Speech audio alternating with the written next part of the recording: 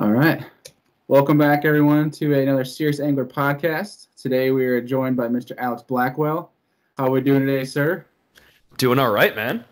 Finally de-stressing from your your, your long hours of, of editing. I'm sure you're you're used to these days, but uh, hopefully this will de-stress you a little bit, get to kind of rekindle some old memories and talk a little bit about what you do. So I'm pretty excited. Yeah, man, I'm absolutely excited. It's always good to kind of talk about one story, but more importantly, what gets us into fishing, what drives us to keep going, and uh, yeah, no, what what what uh what really keeps us uh, pushing forward when you're just you're taken back by the amount of work that you have to do. Yep. But yeah, man, I'm excited. Yeah, it, I stumbled upon your page a while ago because I was always kind of curious because I've been one to watch so many YouTube channels. If I'm not fishing or working, school's over now, so thankfully I have more time to waste, you know, watching the immense amount of YouTube channels that uh, I follow. So I was always kind of curious of the different guys that who film for them. And I, when I stumbled upon your channel, I had heard the name a few times, but then when I finally got it, I'm like, okay, I have to talk to this guy. So now that we're getting into it, I want to I want to hear the the whole story of um, basically how I start the podcast. So is how you got into fishing and like who got you into it. That's pretty basically the first step. And then afterwards, I want to know when you kind of started this huge passion for for media and editing that you're you're doing now. Yeah, no, absolutely, man. I've been fishing since I was two years old. I grew up in Florida, so it, it was it was one of those things where my my dad he grew up fishing uh, up in Connecticut and uh, he brought down that passion for bass fishing uh, down south where we were living at the time. And I had a rod in my hand most of the time. I would go bouncing around ponds and like country club, uh, little cul-de-sacs and whatnot where friends were living. And I, I always had this passion passion for fishing. Uh, yeah, but bass fishing was kind of primary numero uno, uh, the entry point for me. And you know everything started to shift as I, you know, I, you know, going in fishing ponds is great and all, but it just never really sparked it. So I moved up to Connecticut when I was 10. And while I was up there, my dad introduced me to fly fishing, which really is one of my biggest passions in life. I, I would much rather pick up a fly rod over a spin or bait casting rod any day of the week. And, uh, you know, we started fishing little streams uh, and it, it ended up becoming okay, I've got a pond where I know there's a ton of bluegill, there's a ton of bass, throwing poppers and having them crush top waters. And as that passion continued to grow uh, or grow, uh, my, my parents moved back down to Florida. And that's when you know my eyes just opened wide up. I started to fall in love with flats fishing. I started to target redfish, snook, tarpon, oh, speckled trout.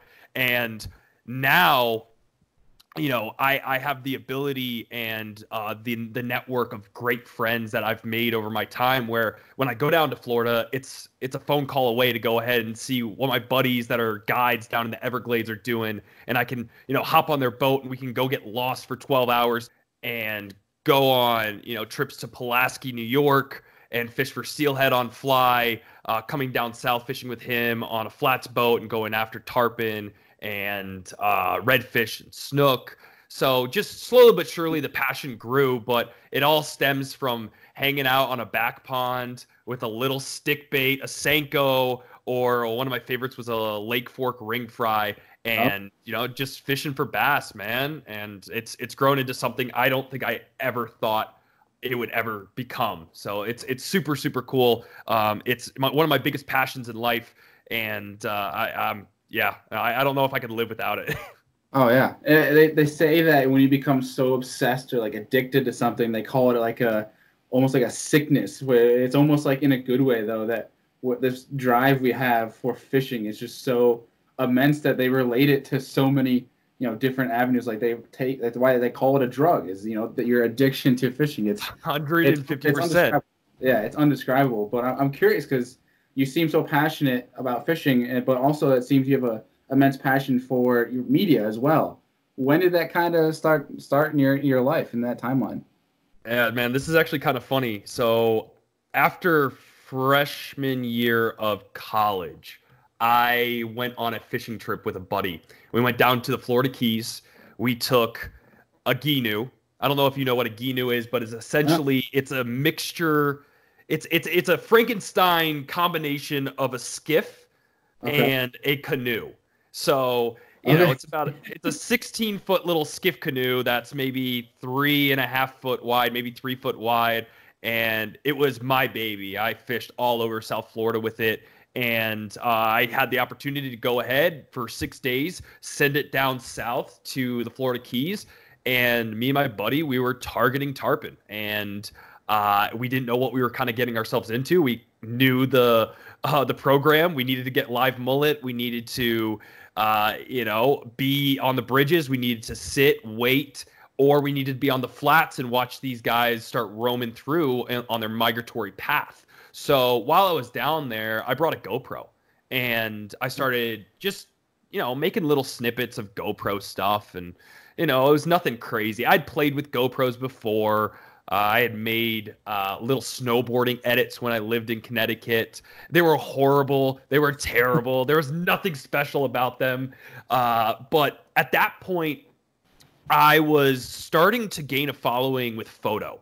And I didn't have a camera at the time. I just used my phone, but I utilized social media and the hashtags to really branch out and touch a broader audience with that being said, after I, I, posted a couple of those things, I started to get some following from some fishing guides and some fishing guys down in the Keys. So I was like, all right, cool. Like they're following me now. I, I need to post some fishing stuff. Like that's, I really want to get into it. So slowly but surely, I started to post fishing uh, material and content, whether I was out on a flat and I was just taking a photo of me and my rod in the sunset, or I, I caught a nice redfish and, you know, I was composing my shot and, uh, I didn't know or had I hadn't taken any photography classes at the time, so it was it was all brand new. But people seemed to love it, and people were hitting me back up saying, "Hey, man, you got something here. You got it. You got to do something with this, man. Like I love your photos. Yada yada yada."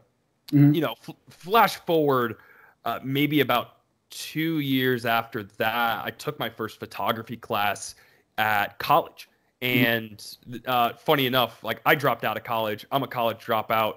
I I took that class and I did not learn a ton, but it only allowed me to continue to focus on something that I was having fun with. And at the time, I was driving out into the middle of the night into the boondocks of Florida near Lake Okeechobee, and I was taking astrophotography.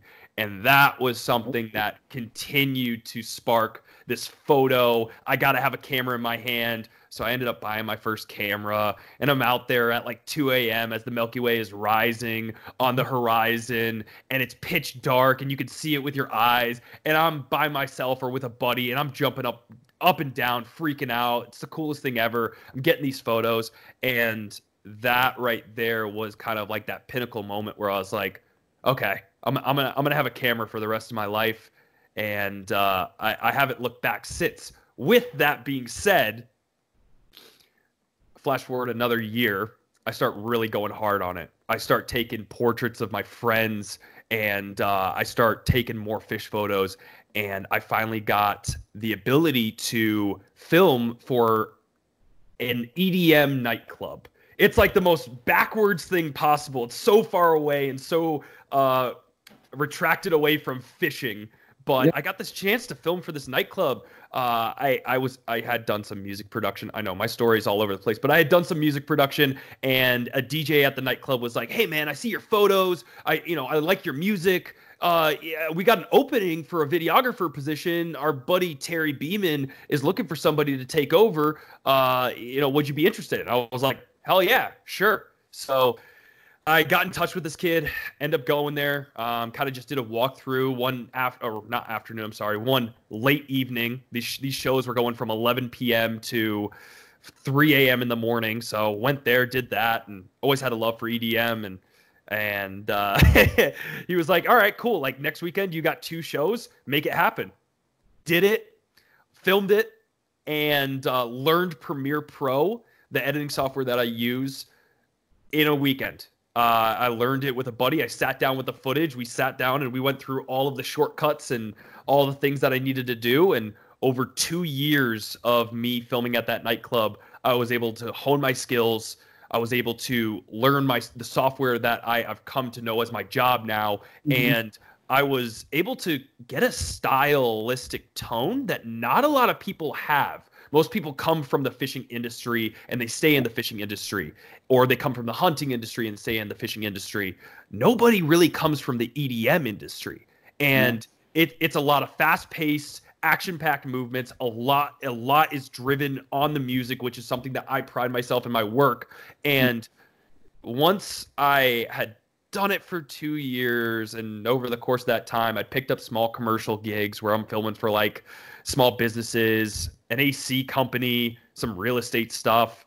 I was like i'm tired of this man. 11 a, 11 p.m to 3 a.m sometimes 4 a.m getting home at 5 a.m i was sick and tired. I was working 80 to 90 hours a week on with with this and my my regular day-to-day job my 9 to 5 and I was like, I'm done with this, man. So I built up a team, I handed it on over, and I started taking less and less of those gigs. You know, lo, lo and behold, I was like, I really need to get back into fishing. I haven't fished in like months. I was I was I was having this this withdrawal period, and yeah, man, I made I made this edit. I made this little edit of Estero Bay down in Florida near Fort Myers, and it opened up a ton of eyes it absolutely, you know, exceeded my wildest expectations with the amount of people that were reaching out to me then saying, yo, this is incredible. This is great work. This is so cool. So yeah. I, I got an opportunity with one of the companies that I was doing a photo shoot with called Avid Gear. They had they had loved my photography. They used my my work for iCast and a lot of their social and uh, they they let me do an edit and that edit was the pinnacle for me in terms of okay, I've got something here. It's super unique. I started having guys like Tom Rowland of Saltwater Experience reach out to me saying, "Hey, man, I've seen your work. I'm loving it. Is it, I, I, you know I would love an opportunity to uh, try and get together with you sometime. I got reached out to by Captain Jack Productions, Jako Lucas,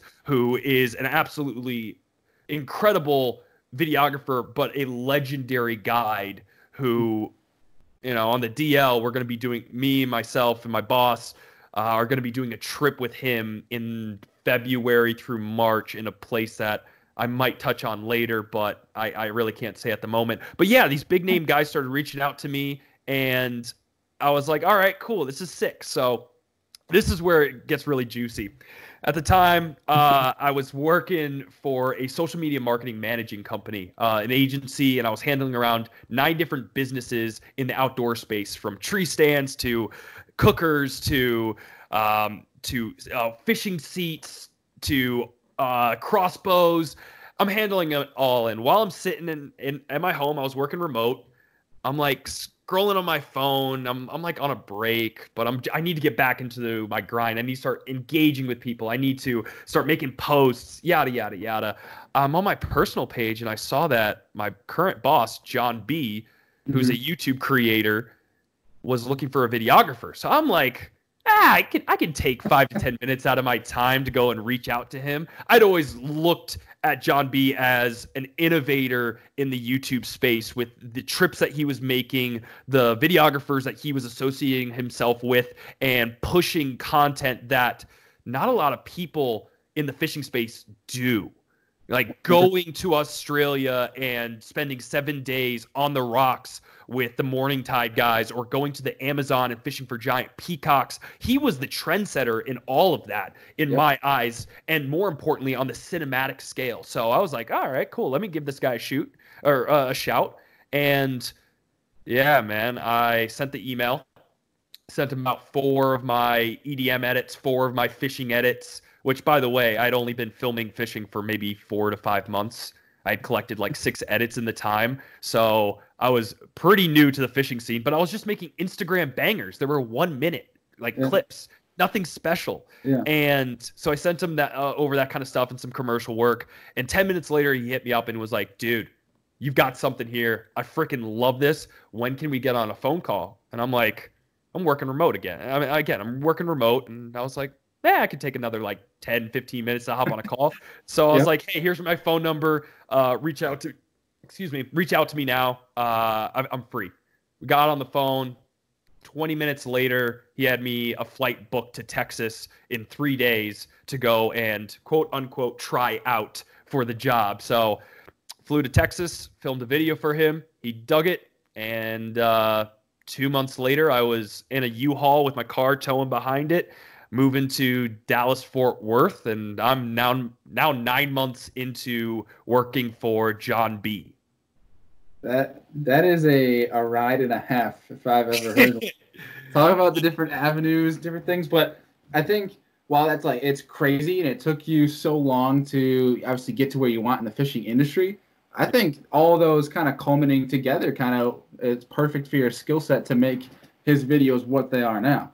Because even like some of the smaller videos he has, whether it's you editing them or not, it's literally like they're masterpieces where you look at some of these guys who have like a big following and like no disrespect to, to Mike from One Rod, but like there is little to no editing in his video in his videos. Yeah, yeah. But that's but that's the thing. That's his yeah, that's his stick, exactly, right? Like exactly. He, but it's relatable. So it's it's really interesting for me to come from a side where uh you need to have a short retention span. It needs to be quick. It needs to be cinematic, and it needs to be uh, fast paced but then you know watch you know someone like Mike One Rod One Reel and pump out these these not so cinematic, just kind of relatable, easy to follow chess cam videos, and then an iPhone vlogging situation, and he kills it. He absolutely yeah. kills it. But yeah. again, it's relatable. It's super mm-hmm. relatable. Anybody can do that. So that's why I think there's so much of a draw. And you know, with with Jon and I, we try and blend the two together. We're trying to do these cinematic series. We're trying to do these epic fishing series and epic fishing videos, and then blend it with these relatable. I'm pond hopping. I'm just looking on Google Maps. I'm using Fishbrain and, you know, trying to keep it simple. So I keep going back to that with him because he's like, oh, like you need to be filming me for this. Um, you know, you know, make sure to get all this B-roll. And I've I've kind of come off of that a little bit based off of the content that we're trying to portray it uh you know if, if it's just pond hopping like let's let's keep it let's keep it personal let's keep it like that pov one-on-one camera in hand uh kind of talking points and then straight back to gopro and keeping it simple but yeah man it's uh I, I come from a very different place and trying to get this this 20 minute 15 minute 25 minute long you know, pieces from my one minute shorts was a challenge and a half.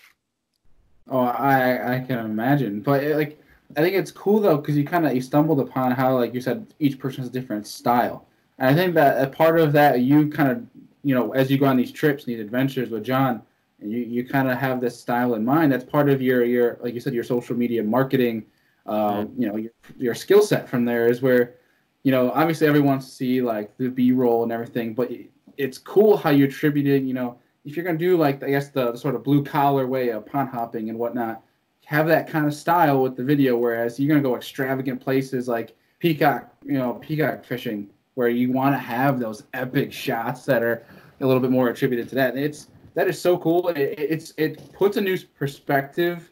Like a lot of people say um, that I've, I've spoken to, um, a few years saying how you know YouTubers how it's um, nothing compared to like TV, how there's not that much going into it.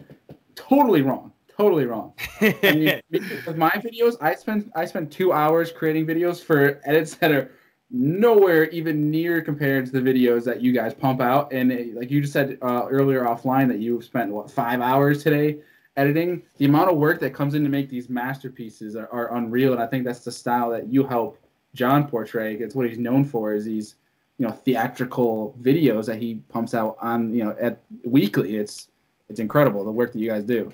Oh, you have no idea, man. So, uh, my my first experience with like a longer format video, the the the literally the first one took me eight hours to do, and it was a 22 minute long edit. Uh, that was just I I, I, I it was me learning, but when I'm going ahead and I'm making these longer pieces, a great example would be Australia. We did a 10 part series in Australia where we took a road trip from New South Wales in the mountains, waking up at you know uh, 6 a.m. and it's 17 degrees Fahrenheit, and then we traveled 3,500 kilometers up the coast to Cairns in uh, Queensland, the northern section of Queensland, where it was 82 degrees and we're in a rainforest. Those videos, I mean, cumulatively, they took me 200 hours to edit.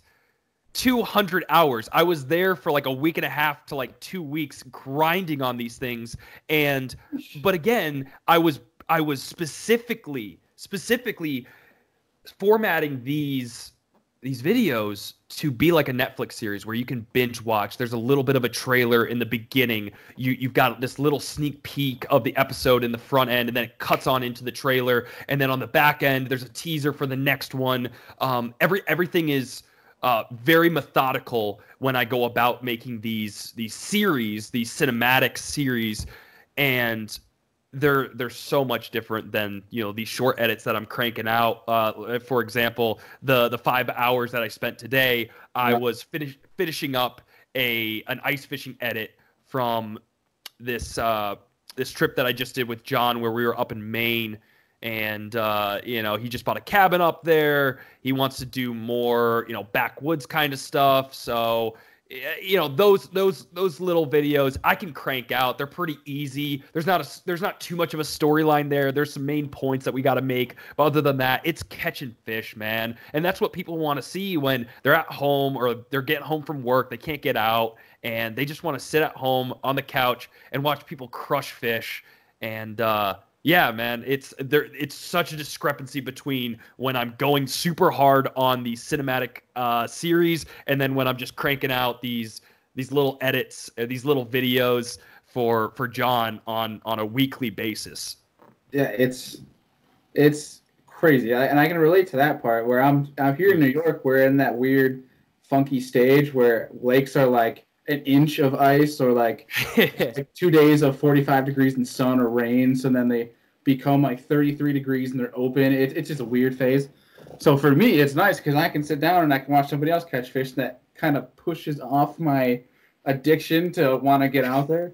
And then of course it pushes me to the point where i have to go fish and catch nothing. But it's it's it's awesome to like watch these different channels. I couldn't tell you how many channels i'm subscribed to at this point but the amount of detail that more and more people are putting into and it's it's wild the different like skill set people like yourself that you guys use in these edits. And i'm sitting there i'm like you know i put like two hours in this thing that i thought was good i look at this oh damn i got a lot to learn. Like it's like it's it's it's incredible but it's also you know the your road to where you are now the amount of work you put in those those two years working crazy amount of nights. I don't even want to know the amount of hours you put into those nightclubs. But uh, yeah, man. To put it to put it simply, I was working basically minimum wage, uh, making maybe like eight to ten bucks an hour doing those shows. And again, it was all passion driven. Like I loved. I loved being in that venue. I loved uh, the artists that they were bringing on in to go ahead and, you know, just like any sort of YouTuber or creator,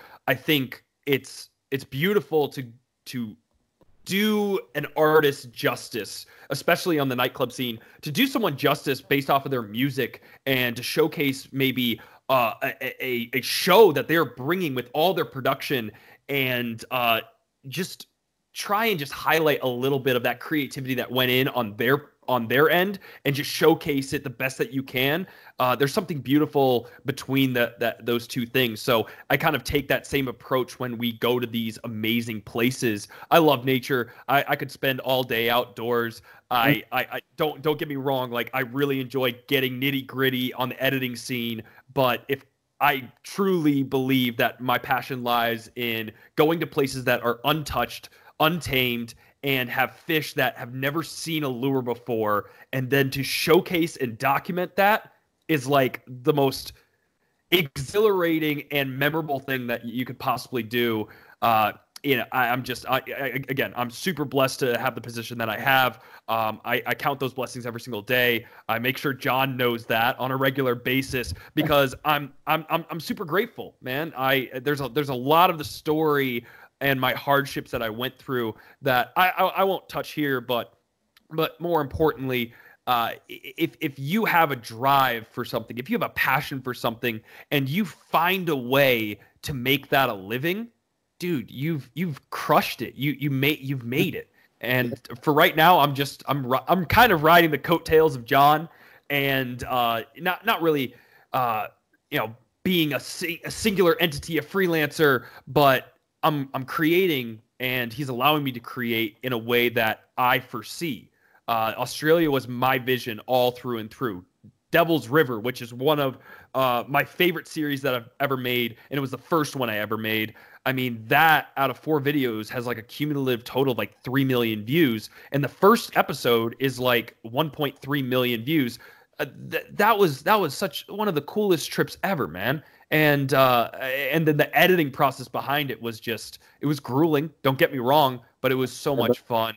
It was so much fun, man. So I'm I'm super blessed to be in the position that I'm at and uh, uh, you have no idea what's coming in 2020. There are some cool trips coming down the line, and I am in this killer mindset of I'm going to absolutely murder that that that content and make something that's so unique, so special that I think it's just going to you know be a placeholder in in YouTube in itself. People are going to look at it so completely differently.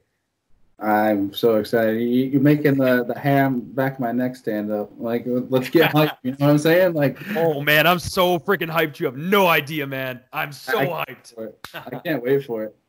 I'm curious how many how many different cameras are involved. Like, do you utilize in your you know in your in your arsenal to to make these?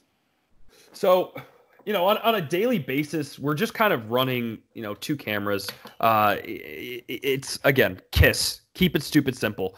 We run a camera A, which is going to be a Sony A7 III with a 16 to 35 millimeter f 2.8 G Master lens, and then we're running our uh, our, our our shotgun mic on top. It's just a Rode Pro, nothing special. Um, but yeah, so that's camera A. That's that's for vlogging. That's for uh, B-roll shots. That's for wide-angle shots. That's for me pointing the camera at Jon or cam or Jon holding the camera and pointing it at himself. And then we're running our camera B, which is the GoPro.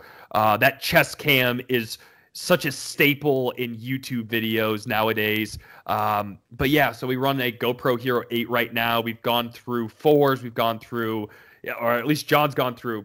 Excuse me He's gone through five, six, seven. You count it, it's there. Um, but we found that I mean, for anybody that's looking to get into YouTube and fishing, um, what we found is the GoPro Hero 4, which isn't sold anymore. They're all refurbished. Uh, tends to be the best audio quality and picture quality that you can get uh, out of the the chest cam scene. Um, but the GoPro Hero 8 so far has done pretty well. We run some dead cats, which essentially just you know, masks out the wind a little bit over the microphone ports on the Hero 8, and that seems to be doing well. Uh, we, we haven't really had any problems with it, but those are our two main cameras when we're running and gunning every day.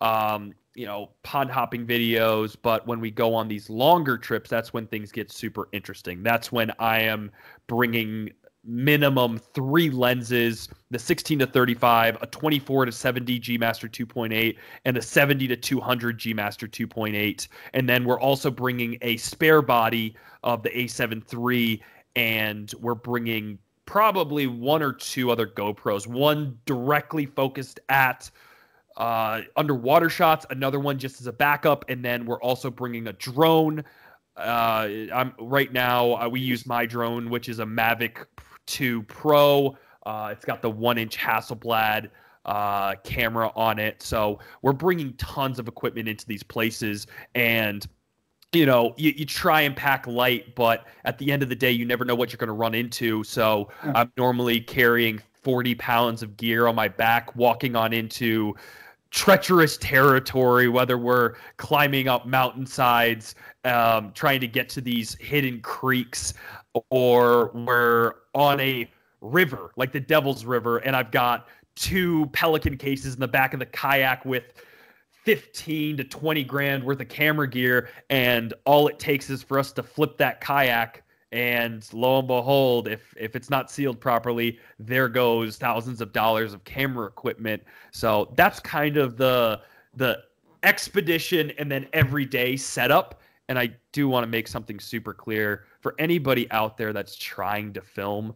You don't need all this stuff. We have it because we want to have it, but you mm-hmm. don't need it. A small DSLR or a mirrorless body from Sony, Canon, Nikon, what have Panasonic's another great one. But if you can have a small body that films in 1080p, 60 frames per second, and you buy a 16 millimeter pancake lens, a lens that does not change focal length, you can film yourself and then all you need is a GoPro. It you don't need all the bells and whistles. You you you just need to keep it simple. And there's so many tutorials online that can help you in that search. You don't have to overthink it. And I get questions like this a lot on Instagram. What should I get? What's what's the best camera that I should do? And my biggest recommendation to anybody out there is go light on the camera body. Most camera bodies are filming in that 1080p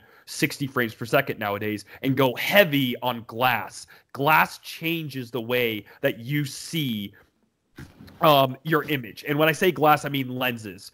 And uh, you want your wide angle for your face shots when you're, you know, self vlogging or you're, you're it's sitting on a tripod and you want as much room to to see what's happening. And then you want a nice B-roll lens or a cinematic lens. My favorite lens of all time is a 50 millimeter f 1.8. I love that lens. The bokeh on it is stupid. The creamy background that makes it have that professional look, and it's sharp as a tack. And that was one of the first lenses I bought, and it was 150 bucks.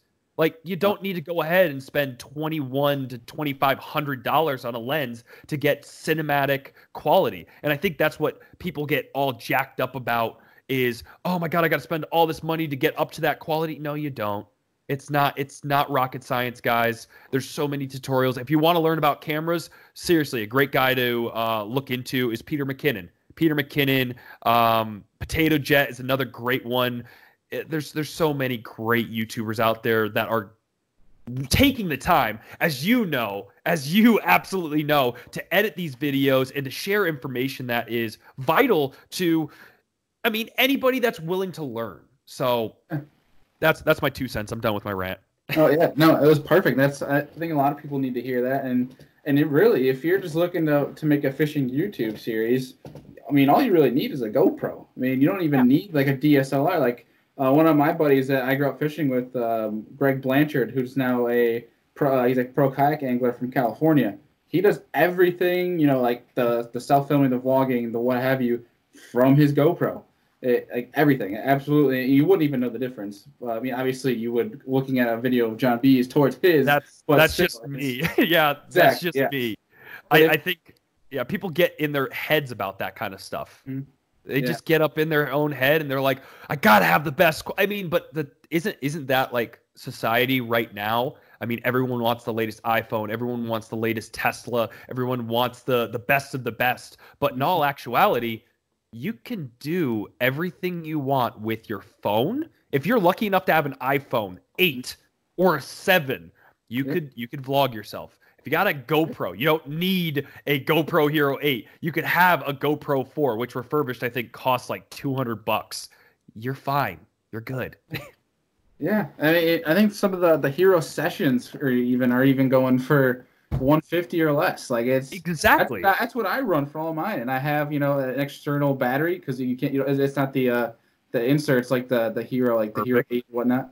But so it's running all day, and you have you know 64 to 256 uh, gig SD cards. You just have run forever. So no, that's that's exactly it, man. Right? Yeah. Um, a, a, a good friend of mine and Jon's who you may have heard of. He goes by Caesarn.fishing. His name's yep. Cade. Uh, yep. He runs a hero session as well. And uh, another big point that you made was everyone always asks, What mic are you running on the GoPro? I see that cord sticking out of it. No, we're normally running an external battery. It's probably like a 10,000 milliamp Anker battery. It slides into your pocket. You just run a USB C type cable into your GoPro or your micro USB, and that thing's going to last you all day. You don't need to have a baggie of little batteries, and you don't need to keep continue to to take it out, plug it in, take it out, plug plug it in. I uh, Alex Peric is one of those guys that still does that, and I, every single time I'm with him and he's filming, I'm always giving him crap about it because he, I'm like, get with the program. It's the 21st century. We're in 2020 now. You should be running an external battery to your uh, GoPro. Yeah. You never have to worry about charging it ever again. Oh. No, it's cr- crazy. It's super easy because with that chest mount, you just run that cord under your chest mount and around it, and it, it doesn't even ever really get in the way. It's never. it's crazy. But I'm kind of moving past that. I'm, I'm curious because you obviously with working with Jon B, you see some amazing places. You obviously travel a lot. I'd imagine. You know, if you could give one to each of a positive, negative of you know this amount of travel and amount of editing and whatnot, do you think you could put a number on each one of them? So what you're asking is, uh, you know, what would I score the traveling aspect, and then what would I score the editing aspect of it? Like, kind of, uh, I'm, I'm trying to get a better grasp of what you're. I asking. guess I'll rephrase it. Uh, with your position with Jon, is there a could you give a positive and then a, a negative? Oh What's yeah, you know, Absolutely. Um, big positive is I get to go to amazing places and I get to document this uh, this goofball who runs around with his wiener dog and likes to fish. It's a pretty darn good fisherman, but is sometimes a little bit on the yeah again goofy side. He he's just uh, he's he he's like a hamster on a wheel. I think that's a good way to put it. He's always running. He's always thinking, and sometimes he skips uh, you know, li- little things, and and that's that's all of us. When when you're running and gunning, you're you're overthinking a lot of things. So that's what I'm here to do. On top of that, I'm also supposed to be a little bit of a level level head. So yeah, I get to go to these amazing places with Jon, um, regardless of how much of a goofball he is. Um, but I would say the negative is just the preparation. Uh, oh my gosh, I'm sorry. The preparation that goes into getting to these places and then filming in these disclosed locations uh, is an immense challenge. You guys have no idea how much physical uh, exhaustion you know someone like myself goes through uh, australia was a perfect example hiking eight miles deep into this this gorge um, in snake ridden territory on a rainy, mucky day, carrying 40 pounds on my back, being left behind um, from Jon and the guide and his buddy Scott, and me not knowing where the hell I am. I'm like over here going, what the hell's going on? I'm I'm lost. I'm I'm I'm I'm exhausted. I don't know what I can or can't do at this moment in time. I'm like, this kind of sucks, man.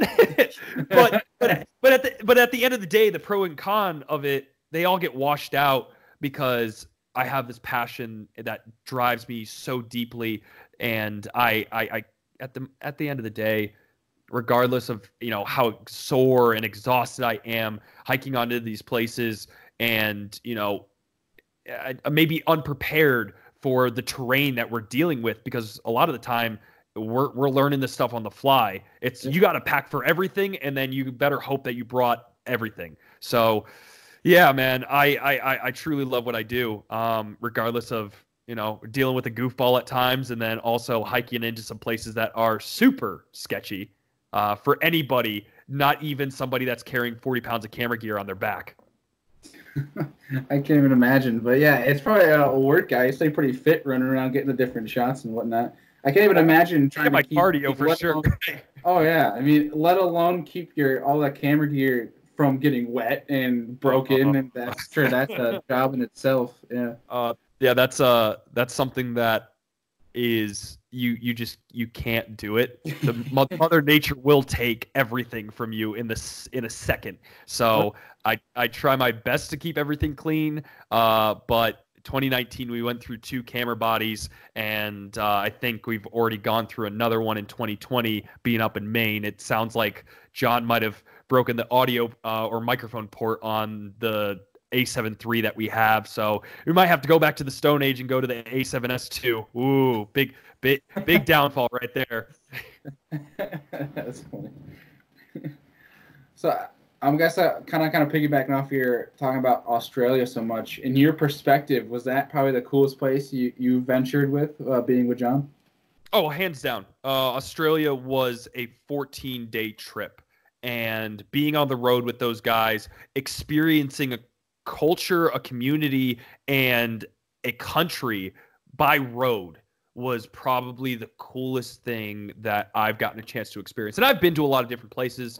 I spent a lot of time in South Africa when I was in my middle teenage years. I was doing some missionary work over there, uh, but before I became 18 and kind of realized that maybe maybe I was preaching the wrong thing. Um, but I'll leave I'll leave it at that. Yeah. I've, I've, been to Belize. Uh, I've been to Alaska. I've been all over uh, Latin America and the Caribbean. I, have I've gone to some really cool places, but Australia and seeing that and you know being this legendary country that I think anybody would be wrong to say, oh no, I don't want to go visit Australia. Uh, it, it was it was just such an incredible experience, but I think that's going to get topped here in 2020 as we go on into some new places that I I mean, man, uh, that, yeah. Yeah, we'll we'll get we'll we'll get to that at the end of uh, of this because I think we just booked our tickets. Uh, maybe maybe around a week ago. We booked our tickets to this very very interesting place, and I'm very excited about that trip. Awesome. Uh, yeah, I mean, anyone listening is probably excited to see see what it's going to be. But it, it, it's it's awesome. It's Australia. It's it's unfor- I want to kind of bring it up slightly. Just it's unfortunate, you know, what's going on obviously now and and whatnot with the the fires and everything over there. Hopefully that gets resolved soon for such a beautiful yeah. place. I'd like to see it in its natural state, not not a half burned state. That would be unfortunate. But you know, Mother Nature's Mother Nature, so we'll see. Well, we'll see things I don't I don't know if you knew this, but a lot of Australian officials in the fire department are actually claiming that there were about 200 arson attacks. So they're they're finding that these fires might have started by arsony, which is someone lighting a fire and burning bush. And due to the climate and the current situation of the weather patterns that are going on there, I'm I'm a big meteorologist and climatologist fan. I actually went to school for my freshman year for meteorology, so I stay up to date with weather as much as possible. And you know, thankfully, I've got people in high places when it comes down to uh, weather. I uh, have access to all of the model guidance that uh, they would have access to. And yeah, no, uh, everyone's, you know, and rightfully so. Like the climate is is in a very bad state, and we are seeing some tremendous warming periods and sea level rising. But they're they truly believe right now, Australian officials, that these were arson attacks, and they can account for 200 of them of where the, the burning started. So, you know, while yes, the climate plays uh, a, a, a part in this, but it's more so weather. Climate is a period of 30 years that you have to look at. So, yes, there's been warming in the climate, but the weather pattern that they just saw, which was high temps and a lot of wind, which is prime for wildfires, yeah. uh, it was just a culmination of all these different variables that came into play. And now it's like 15.5 million acres or hecta acres that have been burned. It's incredible. And it's terrible to see because we've got friends over there and a lot of the like you said a lot of these blue, beautiful places um, you know they're they're burning and you know this this wildlife is is running for its life and it's i mean i got goosebumps thinking about it and talking about it right now. It's it's heartbreaking. It's absolutely yeah. heartbreaking. Yeah. I hope something is resolved you know you know that they can get a grasp on it here soon. It's it's it's very unfortunate. It's tough to see all the the pictures shared from wildlife and and whatnot.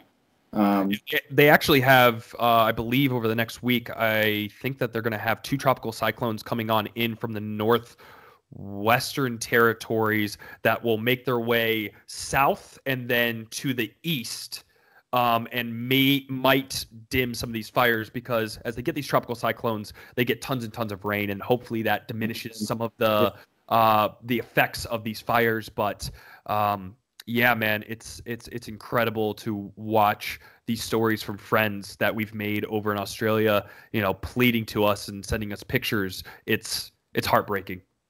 That's that's great. Do you guys plan on you know trying to you know start anything or any kind of sort of trend thing? Not not, not that I know of at the moment. Um, that would be a decision that Jon would make based off his um, his intentions. Yeah. Um, at the end of it all, like the guy truly is one of the most humble human beings I've ever met. He stems from a very small family with not a lot of wealth. Started with a a Kodak camera of all things. He, he came from nothing. He came from nothing in terms of the video side of things. It wasn't like he was handed a, a big DSLR. So um, you know, he he he has very uh, strong foundational roots and is very humble. And I I you know I'm not sure if if Jon's going to do it, but uh, I mean, I would love to see him go ahead and do something in regards for the the wildfires that are going on in Australia. However, I don't know if he wants to go ahead and say, "Hey, uh, subscribers, you know, you know these this 18 to 34 demographic, go ahead and you know uh, donate five dollars to you know whatever uh, agency is there." Uh, I, I they already do so much um, in terms of supporting his channel. I, I just don't know. I don't know. I'm, I'm kind of, yeah. you know, I'm, I'm, I, I, I yeah. can have my own opinion, but yeah, that's, that's up to him. Yeah. It, it's, it's tough because there's only so much you can do to help on that level, and there's so much you can ask other people, and in your own efforts, it's tough. Um, I was only curious asking because I know with his, at least from the persona he gives off of YouTube, and as you said, he's a very humble guy. That's it seems like something that you you know he would at least uh, mention. Like I, I, just see it's very streamlined with his nature. It's For I feel sure. like that's something he definitely cares about. So I thought I thought I'd ask. Just curious. Yeah, yeah, uh, absolutely. Yeah, yeah. So kind of getting away from all that and kind of moving towards uh, about to wrap up here. Um, is there any kind of any social media platforms, different things you want to shout out before we get into our last couple fun questions? Yeah, man, absolutely. So you can find me in my work at X Blackwell, B L A C K W E L L on Instagram. That's where I post all my stuff. Uh, I do have a Vimeo, which I believe is the same. Uh, X Blackwell, B L A C K W E L L, and that's where I'm going to be posting a lot of my personal work in terms of longer format videos. But other than that, man, I'm I'm just an IG kind of guy. Awesome. Yeah, and we'll we'll plug down your, your uh, Instagram link down in the description when we post to YouTube and then Anchor. I'm sure you know what Anchor is for for podcasts. Yeah. Where I post a every known, pretty much every known podcast application. So that'll be down there for anybody listening or watching. They can click on there, drop you a follow, show you some love. Uh, if you want some some high tech, you know, amazing photos and, and films, you gotta you have to go follow. Uh, when I scrolled, the the one thing you brought up earlier is you with it, you driving two and a half hours to get the the Milky Way. That photo was unreal, dude. That was like the, the shadow, the silhouette. That was that was sick. Uh, there's so much. Uh, there's so much preparation that goes into those kind of shots, and oh, uh, I can imagine. Yeah, yeah. that's, it's, it's that's cool. not a drive there, place the camera, take the picture, go home. I, I no, no, no, no. yeah, so so kind of transitioning to the how I kind of like to recap my podcast. There's two fun questions I ask. Um, I like to ask them because they're they're interesting, they're kind of thought provoking, and everyone's answer is going to be different. Um, so the first one is if you could invite any three people to dinner to sit down and, and pick their brain, any any people, uh, past or present, who would they be? So one person that I've always really wanted to pick their brain, specifically on the fly, uh, fly fishing scene, is Flip Pallot. Flip Pallot is a incredible uh, pioneer on the fly fishing scene. He really kind of kicked off saltwater fly fishing. So Flip Pallot would be one. Um, I would say I really want to kind of pick apart Neil deGrasse Tyson's thoughts. Uh, he's he's an astrophysicist, and one thing that I absolutely love, and as you mentioned, the Milky Way and uh, astrophotography is astrology, but more so the study of the stars and outer outer worlds and planets. I think it would be so freaking cool to just kind of talk with him about the physics and um, you know, uh, moreover on that. And then I would say, lastly, hmm, uh, somebody that I would want to sit down with and have a probably a good deep conversation with. Maybe, maybe Warren. Uh, no, you know, I'm sorry, I'm going to cut that. I would, I would love to pick apart Gary Vaynerchuk's mind uh, on the current state of where content can be viewed and then where it would be next, especially on the fishing side of things, because that's where my head's at right now. It's what kind of content can we produce in 2020 and beyond that's going to touch more people, uh, build a bit bigger audience, but more more so. Um, where the future might be for the fishing category, because I believe TV's dying, man. Like, yeah, yep. on on demand is more available than anything else right now, but YouTube having it be there right at your fingertips, you not paying for a subscription yeah. other than the fact that you're paying for internet. I would love to pick his mind on where we might be able to take fishing and where I might be able to take fishing uh, in, in the future. So those those would be my my three: Flip Pallot, Neil deGrasse Tyson, and then Gary Vaynerchuk. I like that. And I guess I have two things uh, to comment off that. Is you are entirely correct. Like TV is dying. It's literally becoming everything streaming. Like smart yeah. TVs. Like I can tell you, we have two smart TVs in the house I'm in right now, and we use YouTube, Hulu, Netflix.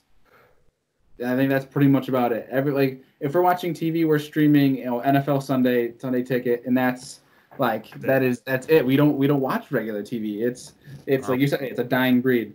Uh, my second thing, uh, you seem like a guy, obviously, from talking to you for the past hour, is that you like all these little like the the sciences and these different things that are very mm-hmm. thought provoking and that most people no don't do not understand. I'm I'm mm. curious. Do you listen to the the Joe Rogan podcast? Funny enough, on when when we were moving Jon into his Maine cabin, uh, we we drove from Chicago to Bangor, and the last 300 miles was in a pretty harsh ice and snowstorm. We spent a lot of time listening to Joe Rogan, and one of the people that we listened to on that Joe Rogan podcast was Forrest Galante, or G A L A N T E. He is a um, I believe, a biologist, and he actually searches for a lot of uh, quote unquote extinct animals, and he wants yep. to prove that they're they're real because there's a lot of places on Earth that are still like unseen. And he brought up the fact that there are these giant sloths in the Amazon, in like the Andes, and there's this little bowl where they might be, but no one's ever been there, uh, or at least hasn't been there in probably a millennia or thousands upon thousands of years. Yeah. yeah, no, I like the Joe Rogan podcast. They're they're really good. I don't know if you saw the or heard the Elon Musk podcast, but uh, yep. that was one that I listened to on that road trip, and uh, yeah, it was it was it was intriguing. He was a little bit slow to answer his questions, which kind of turned me off a little bit, but you can understand that he is really going into deep thought on how to answer uh, you know, the, these these thought provoking questions because Joe Rogan was throwing out some heaters at him.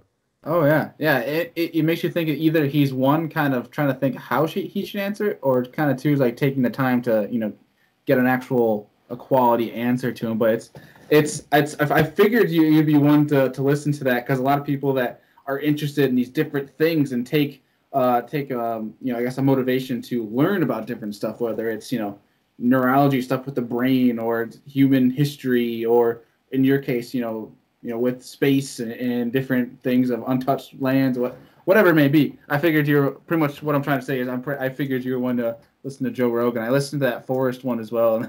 And oh, there's a good. bunch of interesting people on there. It's it's it's pretty fun especially because it kind of opens your eyes to different things of possibilities and and whatnot but it's yeah i, I just want i was curious because you sound like a guy you kind of like when you listen to Joe Rogan for a while, you can kind of pick out the crowd who does listen to him and who doesn't because he has such a, a big following that people know about yeah. and listen to. Where it's like, okay, yep, you've definitely watched a Joe Rogan podcast before. It's it's kind of funny. Yeah, man. It, for, some, for, someone like me, uh, I I don't get a chance to listen to a lot of podcasts mainly because I'm working. Uh, honestly, seven days a week. I'm on call whenever, wherever. It doesn't matter. Yeah, it, do, it doesn't matter. Uh, so I don't get a lot of opportunities to listen to podcasts, but if I was driving in a car for X amount of time, uh, over like three hours, I'm I'm probably going to turn on one of those podcasts and try to find someone that I would find super interesting. And uh, yeah, man, I think it's something to be said about somebody that is willing to understand more than just you know the the ground that we stand on that's why i studied meteorology and yeah. I, I love the science behind it it's why i love i love uh uh, uh, uh, uh would it be cos, cos cosmology cosmology like the study of the stars i said astrology before but that's not the actual uh uh, the actual science. But yeah, man, uh, you got to look past just the the ground you walk on. You got to look at you know the layers above you and beyond to truly understand and have a grasp of you know this this little rock that's floating through space that we get a chance to live on experience yeah. cool things and go to places that maybe mankind hasn't stepped foot on in thousands upon thousands of years.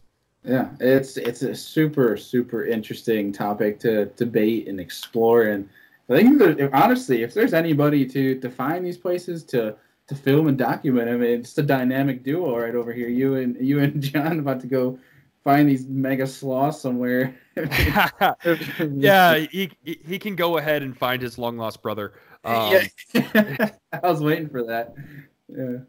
But yeah, man, dude, it's uh where where we're going um, for 2020 is pushing the boundaries. We've got one place in particular uh, where we'll be somewhere in Africa, and that's pretty much where I'll leave it off. But we're going to a place that for seven days, I believe, will be on unmarked ground. Uh, it's an exploratory trip for those seven days. There's another seven days that we're going to be also fishing in some of their prime locations, but seven days where it's unexplored and they've been they've been doing a lot of research on the area, and we're going to be pretty much like walking on the moon and throwing lures at fish that probably have never seen a lure before. So finding those places, I think, truly drives Jon and you know it will be interesting to see how far he'll go with this whole youtube journey.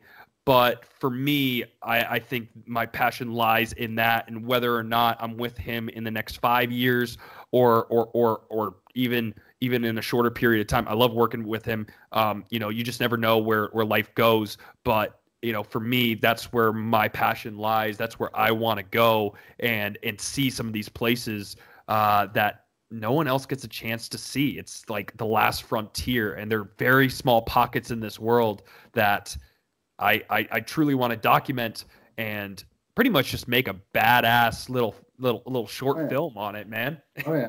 Yeah, it's gonna be exciting. I'm I'm super super excited to see what's to come with you guys. Now that it's, we'll we'll leave it at that for those listening. Just just look out. Just look out. Yeah. So so to wrap things up on the podcast today, uh, this is the one I just like to highlight is, you know, first thing that comes to mind, favorite fishing memory. Favorite fishing memory is Probably my first bonefish on fly. I was on the border of Belize and Mexico after my senior year of high school. I my dad's been in the outdoor industry for about 35 years.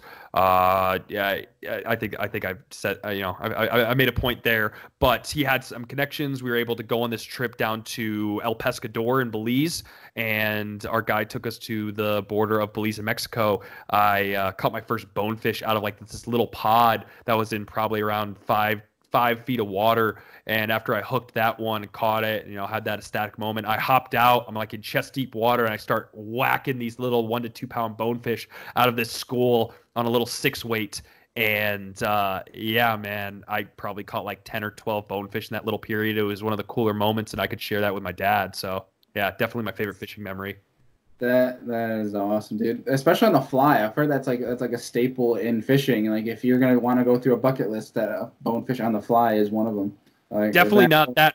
Definitely not that way where you're casting into a school of them like that, but to sight cast them in ankle deep water and watch them tailing in a little pack coming towards you and make that sight cast and watch them charge at it. I don't think there's anything better um, or there's not going to be many things in life that are going to drive that adrenaline uh, through your bl- uh, bloodstream as much as a bonefish charging your fly and then peeling off all your all your line into your backing on like maybe 10 to 15 pounds of drag. Jeez, that's awesome. Uh, it this is it's been an awesome time really learning these different stories and hearing the different adventures you go on. I definitely would like to have you back on down the road to hear especially recapping 2020 to see where you and Jon go. That would be awesome to you know to listen and to see the you know behind the scenes stuff that that you guys do because it's super interesting and it's it's amazing because you know all of us you know million plus that have been watching his videos. Hmm. Um, mm. you, obviously, you see what you present the you, the amazing masterpieces you've presented for the past nine months. Uh, and it's it's I'm super excited to see what you guys are going to come up with. Um, obviously, moving forward 2020. So I appreciate you taking time out of your very hectic schedule. Yeah, uh, thanks, Ben. To you know to speak with me and share the world your story and what you do, and I'm sure everyone's looking forward to it. And for those listening or watching, I am sure you're probably already subscribed to Jon B. Uh, go subscribe if you're not, because this guy is the one that's making all the the magic happen. And go follow him on Instagram, so much love. So again, appreciate you coming on, Alex. Yeah, man, appreciate you uh, having me. This was super fun, and I'm definitely down for maybe like a 2020 recap. Let's do it. Let's do it. it man. All right, you have a good one. Hey, you too.